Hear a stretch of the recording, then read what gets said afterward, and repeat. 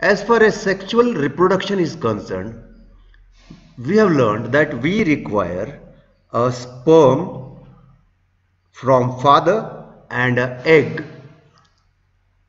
which is there in mother right? And we have also learned that sperm is a male gamete.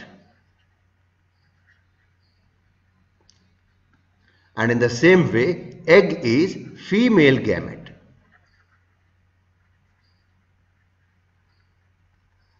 so when there is a fusion of a sperm into egg the fertilization begins.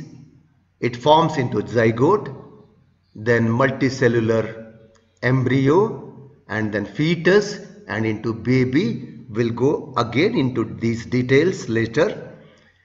Here what we should know is that a organ which develops which produces sperm is called a male reproductive organ. And in the same way the egg is developed in female reproductive organ.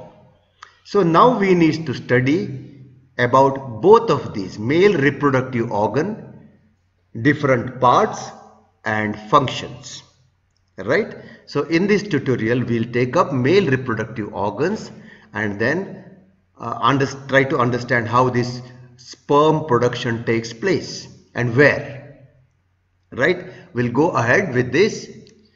Male reproductive organ includes number one a pair of testes look at the word T-E-S-T-E-S, a singular is T-E-S-T-I-S.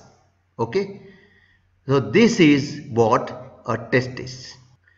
Number two, here we will discuss only those which are very important as far as your class 8 syllabus is concerned. Class 8 CBSE, right? So otherwise there are many such organs which are not which are beyond the scope of your syllabus. Now the first one we have seen these these are called testes right? And then these are called sperm ducts. Now let us go into the uh, functions. First we'll label this and the third one this particular part okay or this side you can say this is called penis. Right so these three are very important part as far as your syllabus is concerned. So we have to know where the testes are. These are the testes and these are the sperm ducts and then this is a penis. Right? So we'll go for a pair of testes so why it is pair of testes there are two testes here two testes two sperm ducts and a penis. And the testes produce male gametes. And what are male gametes? Male gametes are called sperm. Right? So sperm is produced in these two. And these are responsible for a fertilization. Right? So remember the testes produce male gamete. It's a plural now here called sperm. Right? And we know that sperm is required for the production reproduction. Right? Sexual reproduction. How will be that sperm is? Right? This is the structure of sperm it's a very tiny cell it's a single cell remember and single cell will have a head here and a middle piece and then it has a tail. Now this has an ability to swim across. It swims inside the fluid which is there in between and thus it will be protected properly. it works as if it is remotely controlled. So this is about a sperm. So sperm will have a head, a middle piece and a tail. And where it is produced, it is produced in testes. And how many in number? Millions of sperms are produced. Please note a point here, millions of sperms will be produced but for the formation of zygote we require only one sperm. So from father there will be millions of sperms and it's only one sperm will be able to fuse with the egg from the mother. So we all are born due to one sperm and one egg from father as well as mother. Right? So rest of the sperms will die and they go out. Okay? That we shall see later. And remember sperm is a single cell with all usual components you know nucleus and all those things will be there. Now that sperm need to travel. So there has to be some way, some path. And that is the way which is provided here. And those are called sperm ducts. Okay. And those sperm ducts allow the transmission of sperm properly to towards the penis. There is a small passage called urethra between the penis and through that the sperm goes out. So sperm ducts are the path for the sperm to travel, to transmit. Okay, till it goes to the outside of the body. Right. Actually speaking, your CBSE textbooks speaks only this much. However, I'll just make a slideshow of rest of the parts which are not required for your exams. Okay, you need to learn as far as exam is concerned these things. You can even add some extra point which I am going to tell you. So here we go. Look at this the green particular part, the green part, seminal vesicles. Located at the base of the bladder, okay, it is a part of male reproductive system. And what it does, it secrete a fluid. And why is fluid? Without the fluid, the sperms will die. That's why it requires some nourishment. It has to swim across and therefore this thick fluid is a kind of a liquid. So this is uh, what a seminal vesicles do. And then we'll go for a bladder. This is the bladder. It's a muscular sac. It stores urine and then it that urine is released through you know this is the tube called urethra. Try to understand this. So the urine is taken out through urethra. Next one is prostate gland.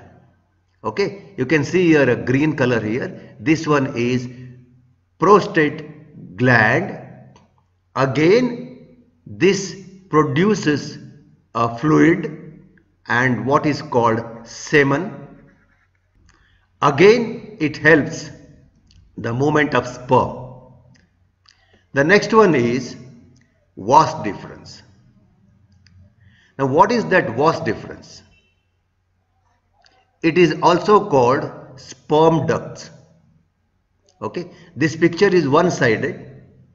So this is the vas deferens where transportation of sperm takes place. Next part is urethra. As I have told you it allows the urine to go out through penis. Scrotum. Scrotum hangs under penis and contains a testicles and epididymis. Okay?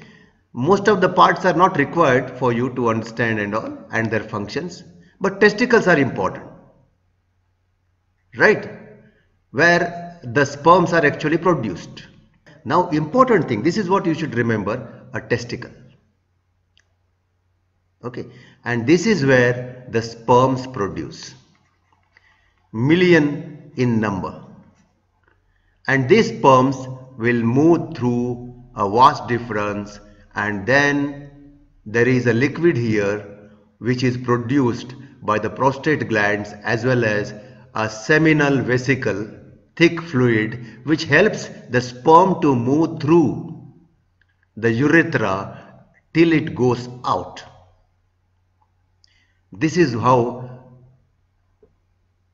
the entire reproductive organ of male functions. Now we'll go for female reproductive organs. Right? And this is the outline of female reproductive organ. So we will study one by one and its function.